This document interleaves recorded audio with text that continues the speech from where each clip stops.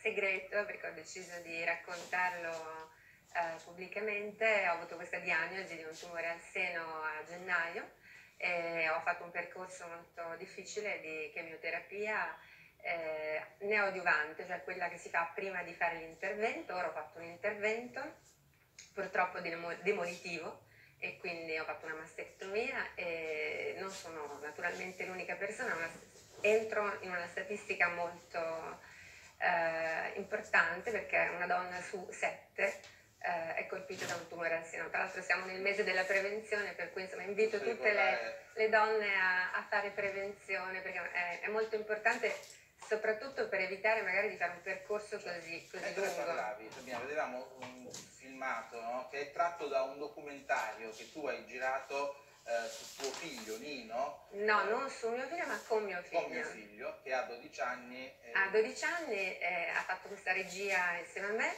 È attualmente il regista più giovane iscritto alla SIA in Italia, quindi credo anche nel mondo.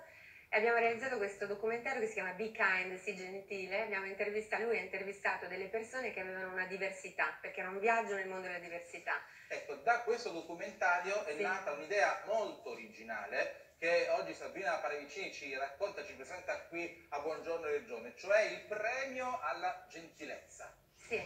Abbiamo eh... premi su tutto, la quantità, il venduto, il fatturato, la gentilezza. Sì, allora il progetto di, del documentario che ha avuto una vita bellissima perché abbiamo vinto una menzione speciale al Taormina Film Fest, siamo stati alla festa di Roma, abbiamo vinto una menzione speciale ai documentari Nastri d'Argento 2019 e ci dispiaceva lasciarlo così, nel senso gli abbiamo dato una vita ulteriore, abbiamo creato questo premio, si chiama Be Kind Award, premio gentilezza e premiamo eh, le persone eh, che ci sono, ci sono, state suggerite delle, dal pubblico. No? Per esempio, sì. nei programmi televisivi c'è la RAI con Tutto Cambia Rai 3, i nuovi eroi Rai 3, il commissario Montalbano Rai 1 e poi i due programmi della 7 E Atlantide, c'è il cinema, i libri, il web, tantissime categorie. La premiazione sarà il 13 novembre alla Casa del Cinema eh, di Roma. Sì. La domanda è, ma premiare la gentilezza vuol dire premiare cosa? Ah, volevo anche aggiungere una cosa, quest'anno come prima edizione la famiglia Frizzi ci ha dato il permesso di intitolarla Fabrizio Frizzi che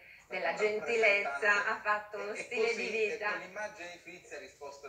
Esatto, c'è bisogno di conoscere la gentilezza, ma in realtà la vita no, no, era di Noi tra l'altro abbiamo chiesto al pubblico di segnalarci i candidati e anche di votarli, per cui è un premio che arriva da, dal basso. Quindi ogni anno premierete delle persone che si sono distinte in varie categorie per gentilezza. L'Oscar della gentilezza, in America non saranno concordi su queste cose, sono molto rigidi, però l'Oscar della gentilezza l'ha inventato Sabrina Paravicini, ce l'ha presentato qui oggi, ci rivedremo sicuramente a risultati ottenuti, ti ringrazio molto, Grazie saluti a, a, tuo figlio. Grazie. e noi che raccontiamo spesso la cronaca nera, oggi vogliamo fare un passo avanti, cari amici a casa, vi raccontiamo cosa succede in quelle famiglie dove